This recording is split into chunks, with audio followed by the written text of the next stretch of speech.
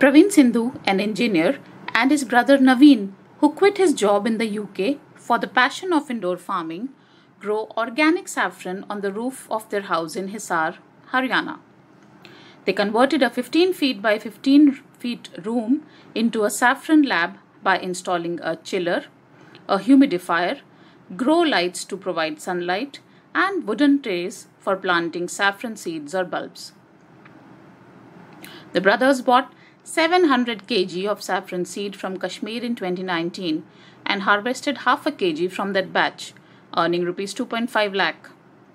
They now harvest 2 kg of saffron from 1000 kg of bulbs that grow inside that small room from August to November every year.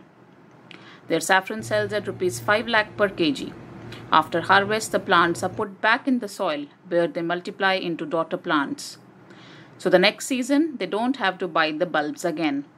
They also export saffron under the Amaratwa brand to the US and UK and are now planning to expand their unit.